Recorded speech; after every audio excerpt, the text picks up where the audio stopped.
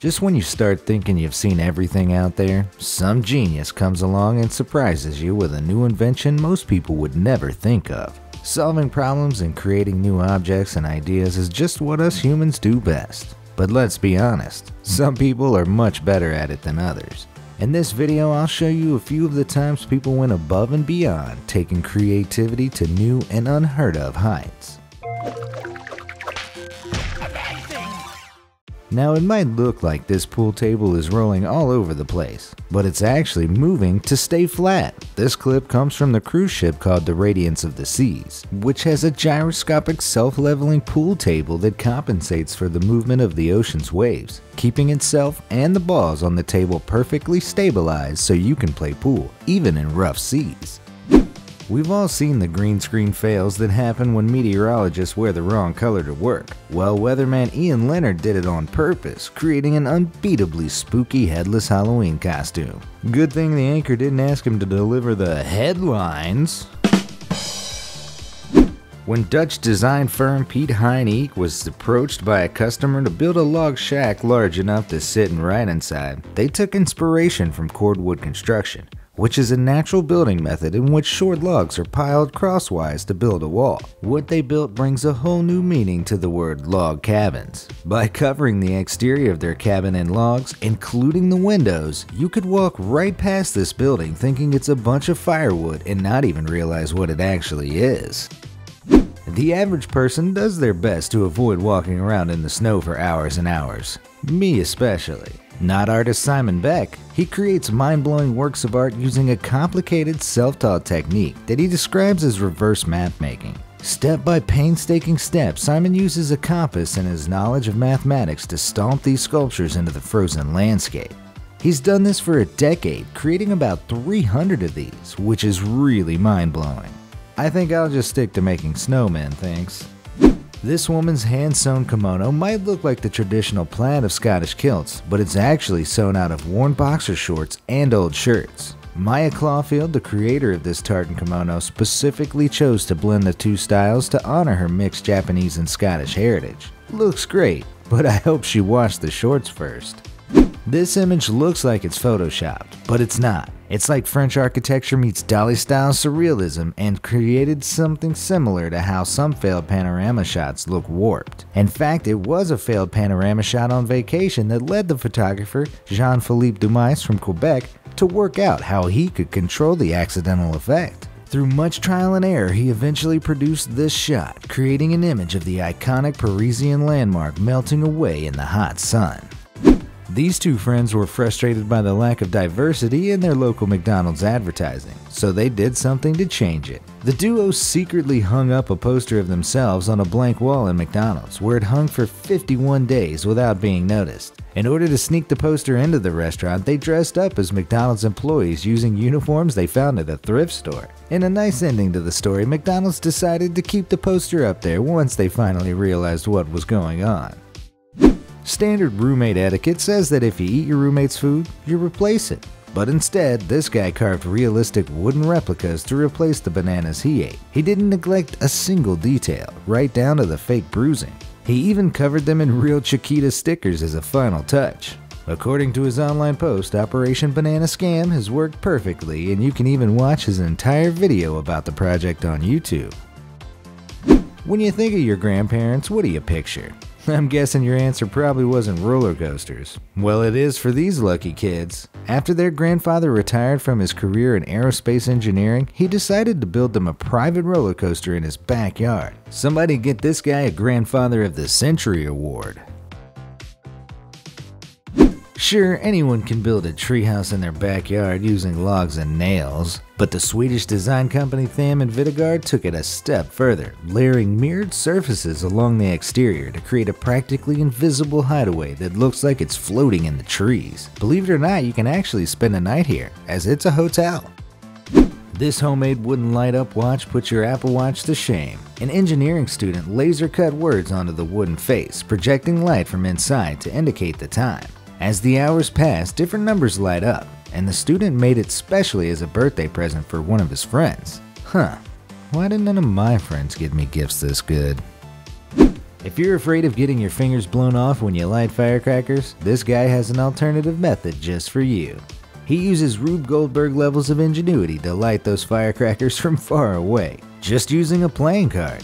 Simple. Well, I guess there is a simpler way. You've got to have your bottled water, but you're also worried about climate change. So, what's an environmentalist to do? After all, pollution is so passe. How about transforming your bottles from waste into a system that encourages carbon fighting plants to grow? That's what these people did when they turned their old plastic bottles into a greenhouse. This injured turtle can walk again after someone made him a Lego wheelchair. Most mobility devices for animals are targeted towards bigger pets like cats or dogs, so the animal lovers at Maryland Zoo decided to improvise. Instead of letting these four orphan puppies go hungry, one man transformed his hand into a makeshift mother by squirting milk through a glove. He inserts a syringe filled with milk directly into each finger to make sure each puppy gets its nutrients. Adorable, but also kinda gross. We've all had the urge to draw in someone's dirty rear window. Come on, they're asking for it. Well, one artist takes it a little more seriously than just writing Wash Me in the Dirt. Scott Wade, also known as the Dirty Car Artist, creates intricate murals and scenic landscapes on the backs of dirty cars. Creating something that looks like it belongs in a video game, Jan Vormann uses Legos to patch up holes in brick walls. The visual contrast of the old faded brick buildings with brightly colored plastic Legos is something to see. Okay, it's probably not the best idea if you want to protect your wall's structural integrity, but it sure looks cool. Now this is useful. Reddit user Dutch Kiwi Fruit DIY'd a machine that automatically sorts Skittles and M&Ms into separate bowls by color. The device uses optical recognition and a small onboard computer to make these crucial decisions. So the big question is, when are they gonna put this in stores? You've heard the common saying, one man's trash is another man's treasure. Well, the artists behind this series of sculptures, Tim Noble and Sue Webster, play with this idea by creating art out of their trash. Discarded wood takes the shape of humans, which is then projected onto the wall with unbelievable results. Reddit users are an amazing bunch. Give them an idea and they'll pull out all the stops to outdo each other. In this Photoshop battle, Redditors photoshopped a picture of this chubby hedgehog and a tiny kayak onto different images. Here's the hedgehog on American Gladiator. One enterprising user even made a gif of the little guy rafting down a rushing river. Gotta love the internet. Instagram artist Red Hong Yi rearranges common household objects into works of art. This piece, titled Teh Tarik Man, which translates to Pulled Tea Man, showcases a gigantic portrait that was created by stringing together 20,000 dip tea bags. The piece, which depicts a man making a traditional cup of Malaysian tea, was inspired by Red Hong Yi's own feelings of homesickness. If you happen to be alive during the 1980s and early 90s, the odds are good that you had the much maligned rat tail haircut at some point. As if it wasn't bad enough the first time around, one man wants to bring the look back. Here he is taking the rat tail to new heights with a very literal interpretation of the hairstyle. You've got to admire the execution and creativity, if nothing else. Everyone's heard of Stonehenge, one of the wonders of the world. Nebraska native Jim Reinders built a replica version in his backyard, but with cars instead of rocks. Since it was first created in 1987, Carhenge has become a major tourist destination in Jim's hometown. If you find yourself driving through Nebraska, alright, maybe that's unlikely. But anyway, make sure to stop by and check it out. Russian street artist Nikita Nomerz transforms crumbling abandoned buildings into whimsical, exciting works of art. He incorporates physical parts of the structure into gigantic faces. Crumbling bricks become teeth, cracks become mouths, and holes become staring eyes. It's definitely better than leaving derelict buildings to fall apart. This Muslim woman comes up with creative ways to dress up as her favorite fictional characters while wearing a scarf.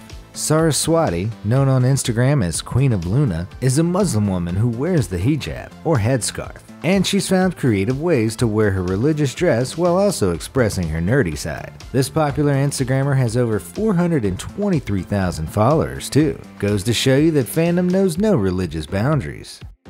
Ever made a bad decision while you were drunk or tired? At least you probably didn't have to stare at it every day like this guy did with this terrible Pikachu tattoo. This monstrosity looks less like a professional tat and more like a child's drawing of some kind of beaver-like animal. His new tattoo artist agreed, and she cleverly decided to incorporate the original image into a new design depicting Pikachu as a budding artist. Pretty smart.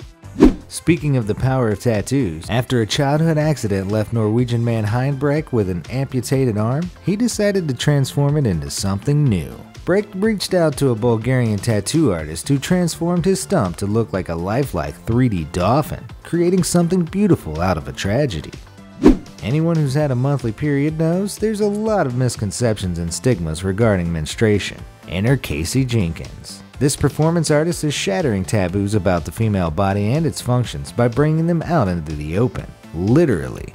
For one exhibit, she inserted wool into her private parts before unspooling it and starting to knit in front of an audience. Jenkins performed this piece over the course of 28 days in an Australian gallery, even continuing while she was on her period. After her performance garnered negative backlash online, Jenkins became inspired by the violent, misogynistic responses. Using her period blood as a dye, she knitted those negative comments onto scarves. It's definitely creative and thought provoking too, but I'm not sure I'd want to wear one of those scarves. So, what do you think? Have you done anything this creative? Let me know by leaving a comment down below and thanks for watching.